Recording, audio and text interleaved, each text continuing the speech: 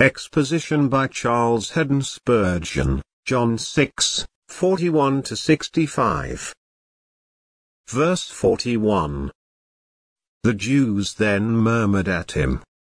That is, at the Christ. 41, 42. Because he said, I am the bread which came down from heaven. And they said, Is not this Jesus, the son of Joseph, whose father and mother we know? How is it then that he says, I came down from heaven? They did know his mother, but they made a mistake, which may have seemed a very slight one to them, when they said that they knew his father. Yet that is how nearly all great errors spring, from some slight and apparently trivial addition to the truth of God. They did know Mary, but they did not know that Jehovah was the father of the Christ. 43, 44. Jesus therefore answered and said unto them, Murmur not among yourselves. No man can come to me, except the Father which has sent me draw him, and I will raise him up at the last day. Note the unflinching boldness of Christ. He did not say to these people, Well, you have some cause for murmuring and I will explain the matter to you. On the contrary, he faced them with the doctrine of sovereign grace, and told them that he did not expect them to understand him, for they could not do so except the Father, who had sent him, should draw their hearts towards him. 45. It is written in the prophets, and they shall be all taught of God. Every man therefore that has heard, and has learned of the Father, comes unto me. So, in fact, he said to them, You have not been taught of God. The Father has never drawn you, otherwise you would have received me. So does the brave champion thrust the naked sword of the truth of God into their very souls. 46, 47. Not that any man has seen the Father, save he which is of God, he has seen the Father verily, verily, I say unto you, he that believes on me has everlasting life. Let me read those precious words again, catch at them, you timid and trembling ones, verily, verily, I say unto you, he that believes on me has, now, in present possession, everlasting life. 48, 49. I am that bread of life. Your fathers did eat manna in the wilderness, and are dead. He does not say, our fathers. He comes out, as it were, as much from the Jews as from the Gentile ungodly world, and he says, Your fathers did eat manna in the wilderness, and are dead. 50, 51. This is the bread which comes down from heaven, that a man may eat, and not die. I am the living bread.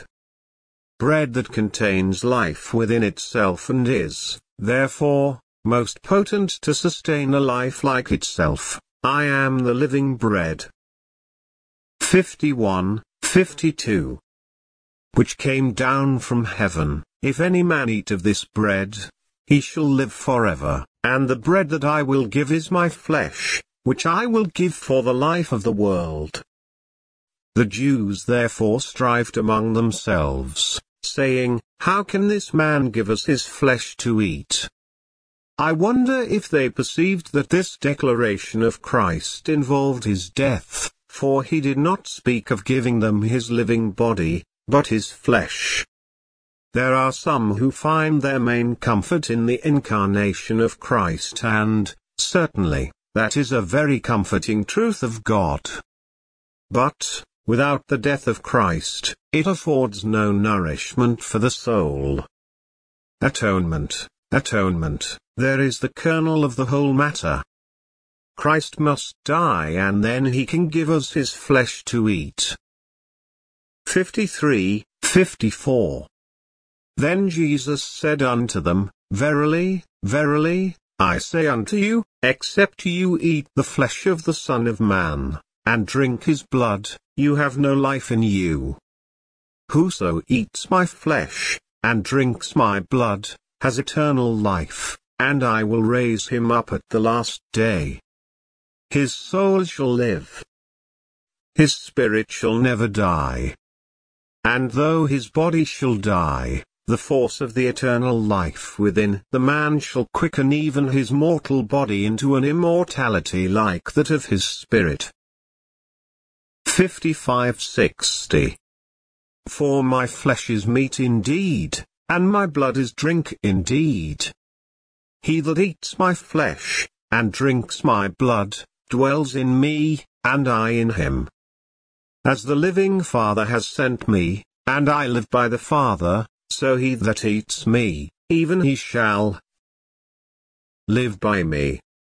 This is the bread which came down from heaven, not as your fathers did eat manna, and are dead, he that eats of this bread shall live forever. These things said he in the synagogue, as he taught in Capernaum. Many, therefore, of his disciples, when they had heard this, said, This is an hard saying, who can bear it? And a hard saying it really is until we are instructed by the Spirit of God to understand it. The Roman Catholic has made it into a gross and carnal saying, teaching men that they really, actually and corporeally, eat the flesh and drink the blood of Christ, which is horrible blasphemy, and nothing less. But they who are taught of God see the inward meaning of the truth peeping up from behind the letter, and know what it is to receive into their hearts, though not into their bodies, into their thoughts, though not into their mouths, the very body and blood of Christ. 61-63 When Jesus knew in himself that his disciples murmured at it, he said unto them, Does this offend you? What and if you shall see the Son of Man ascend up where he was before? It is the Spirit that quickens. The Spirit in us gives spiritual meaning to the Word, and life to us also, it is the Spirit that quickens, 63. The flesh profits nothing, the words that I speak unto you, they are spirit, and they are life. They are not carnal. They are not gross. They have in them an inner sense which is full of life and spirit. 64, 65. But there are some of you that believe not. For Jesus knew from the beginning who they were that believed not, and who should betray him. And he said, Therefore said I unto you, that no man can come unto me, except it were given unto him of my Father. No man, no, not even an apostle, not the one who ate bread with Christ and was his familiar friend, not even he could come without being drawn by God. And Judas did not come to Christ, in the sense in which our Lord used the word, Judas never really came to him, but perished in his sin. The Father must draw us with divine cords, or else to the Son we shall never come.